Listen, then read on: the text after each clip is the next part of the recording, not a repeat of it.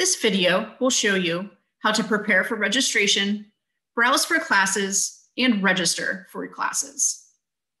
In order to get to the screen I am showing you, you will need to log into the My Edinboro portal, click on the Scots icon, and click on the registration and planning page. From here, let's prepare for registration. Click on the link,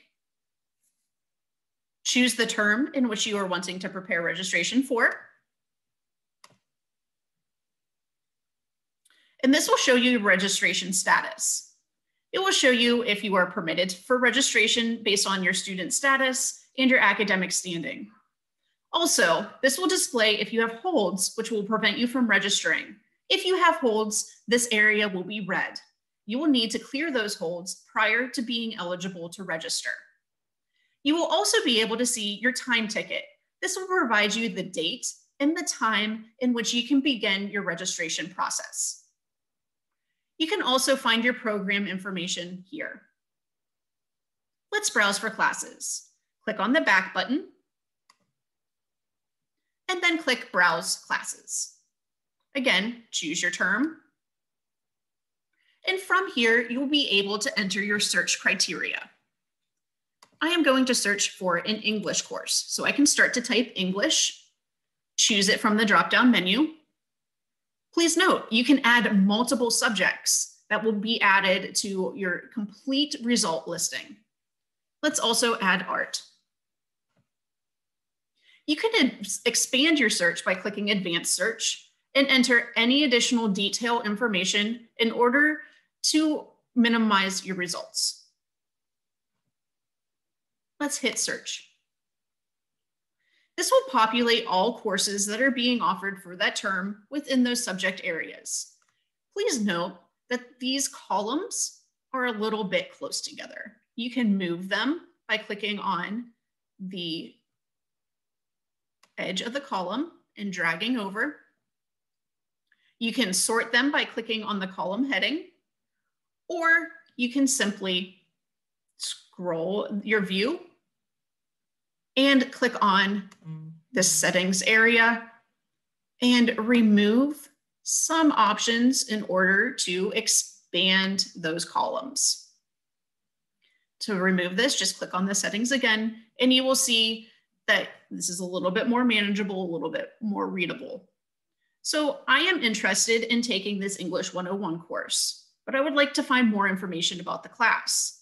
Simply click on the course name and this will provide you with the details of the course, along with bookstore links, the course description, the instructor and meeting times, any prerequisites that are associated with that course, and then a catalog description of the course and what is being offered. You just simply close out to remove that heading and I, once registration is, is able to, once I am able to register, I will then make sure that I choose this course. If I want to add additional search areas, just click search again. And let's say I want to remove art just by simply clicking on the X. And then you can add another subject area and perform the search function again. Let's say it's time for you to schedule. Let's go back to the main screen. It's time for me to schedule. I'm going to click on register for classes. I'm going to enter the term or select the term from the drop-down menu. Enter the PIN that my advisor has provided to me.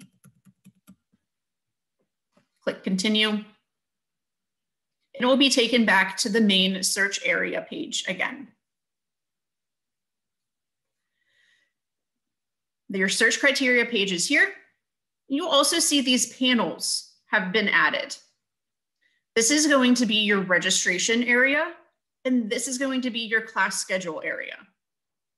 If you know the CRN for the course, you can click on the enter CRNs here and enter the CRN and then add additional blocks in order to enter the CRNs and then add to summary.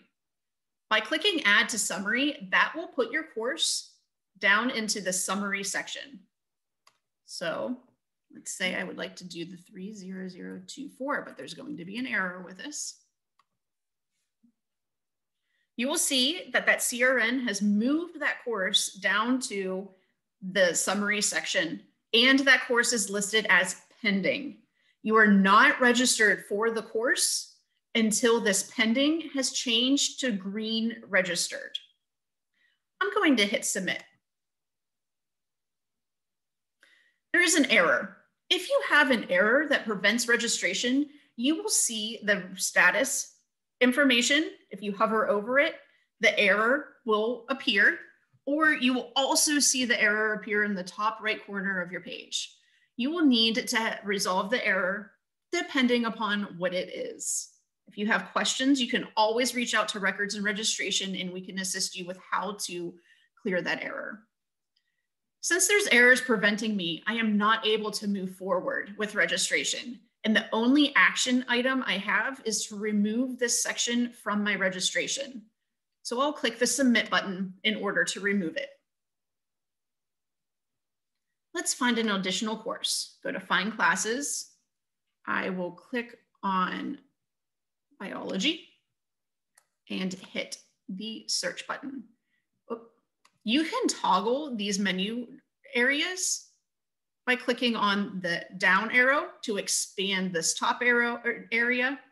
The circle will take you back to the main listing of the three panels, or the up arrow will expand the bottom panels. I want to look for a biology course. And this course looks like it meets my needs. needs. I will add it. Again, please note, the status is now pending.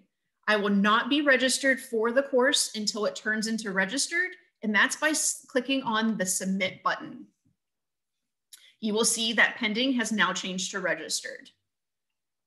Let's say my plans have changed and I no longer want to take this English course. I would just simply click on the drop down menu, choose drop, and click submit. You will now see the registered status has been changed to deleted. That course I am no longer registered for. Both of these courses are INET courses, so they're not appearing in the schedule area. However, they are appearing in the schedule detail area. This is where you can see the, the name of the course, the days and times, and the date that the course is being offered. You can also click on the schedule and options area, and that will populate your course that you are registered for and permit you in order to print a PDF copy of this, or you can print it to your computer. Once you are done with the registration process and you would want to view any of your schedules, you will basically click on your view registration information and that will show you your current schedules, your past schedules, and even ungraded classes. If you have any questions regarding the registration process or course search process, please reach out to Records and Registration. We're located in Hamilton Hall. You can reach us at 814-732-3501, or you can email us at records at edinboro.edu. Thank you.